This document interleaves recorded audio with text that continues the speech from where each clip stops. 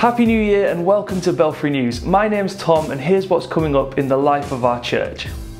Our Encounter Youth Residential will be running from the 17th to the 20th of February at Wydale Hall. This is a great place for 11 to 18 year olds to come together in community, to worship together, to learn together and just have loads of fun.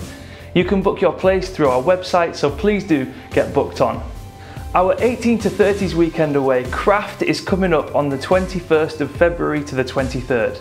This is an incredible weekend where we're going to deep dive into the book of Daniel. We're going to have lots of relevant teaching for this age group, times to just chill and worship together.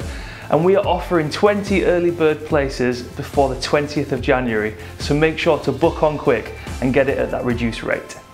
If you want to see what's coming up in the life of our church over 2020, then you can go to the events page of our website. It has all the things that we've planned so far, including the big events like the Christmas Carol service and Easter. Why not go through it with your diary and note things down now? And why not pray about who you could invite to one of our events this year?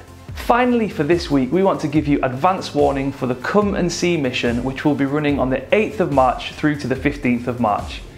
This is John Sentamu, the Archbishop of York's final mission, where he's asking churches from across York to come together to tell people the good news of Jesus Christ.